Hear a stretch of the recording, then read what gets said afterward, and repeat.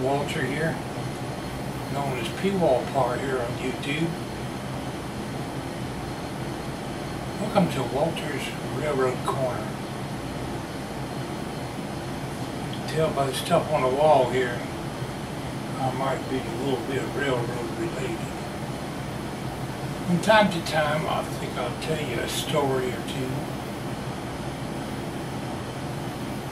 Maybe just talk a little bit.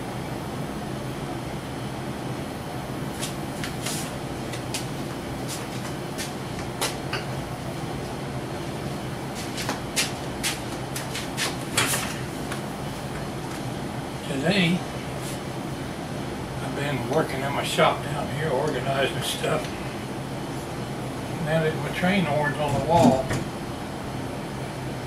made a bracket to hold them up there. I can snatch them down and go whenever I want. Here's a little something you might find interesting. What is it, my friends?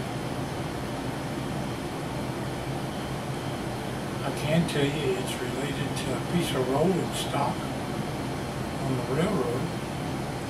More than one type of rolling stock, actually.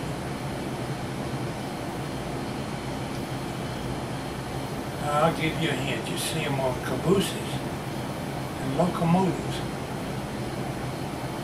What is it? It's made out of plastic. The original ones were metal. This one's brand new, never been used.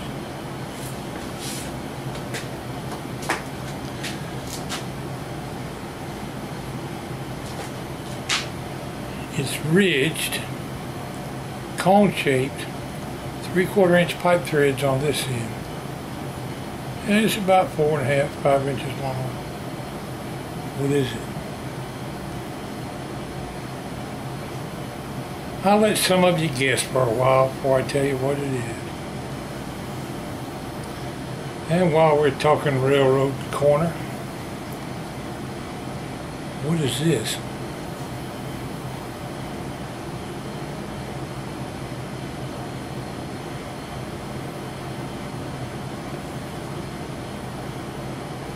You hold it like this, stick it in a slot, a reverser handle. Closest thing you come to a key on a locomotive. Can't move a locomotive without one.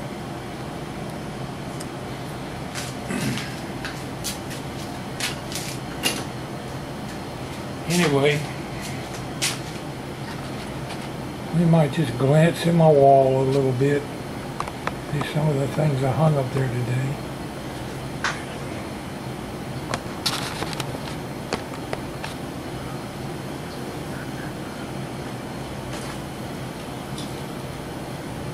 I picked that picture up at an auction somewhere. The American Freedom Train Bicentennial Journey 1975, 1976.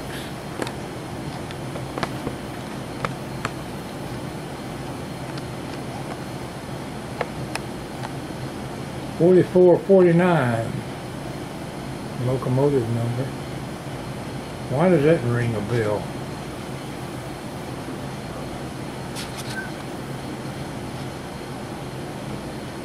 Got a few railroad related items on the wall. Got some hand lanterns. I found that lens. It's a big lens.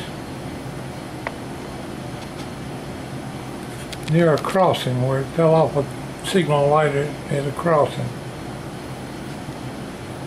Or the signal maintainer probably discarded it or fell off his truck.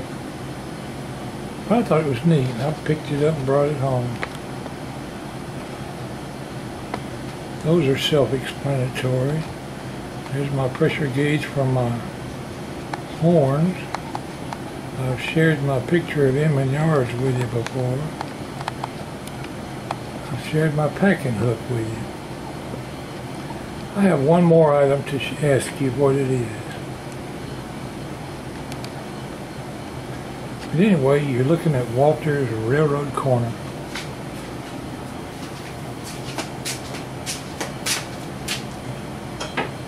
Mystery item. Oh, 15, 16 inches long. Metal, has a hook on the end of it which is very sharp.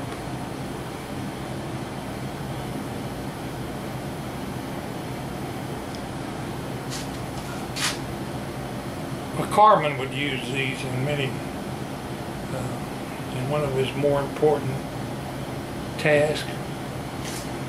And it was often used in conjunction with his packing iron.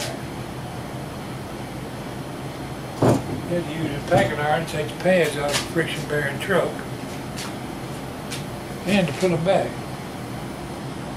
But you couldn't get the brass, the bearing out of the, off the journal without first removing the pads. And that's where this thing came into play. When you got that truck side jacked up off of the bearing, the journal is in there, the axle of the journal. Well, you need to inspect that thing. And only a fool would stick his hand in there on top of that journal. Knowing if that jack fell, you wouldn't have a hand anymore. You're talking about tons and tons of railroad car going to fall right on your hand when that jack comes down. That's what this was for, for inspecting a journal. Most journals are 10, 12,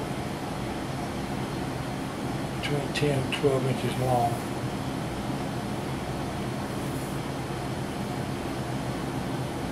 So it don't need to be any longer than this. But what you would do, see if I can find a piece of metal.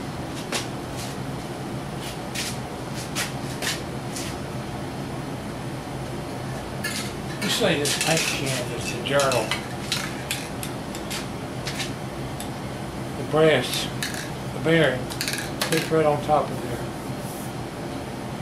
Once you got the bearing off, this is called a scratch hook. You reach up inside there and feel the top of the journal with that scratch hook. If it's smooth,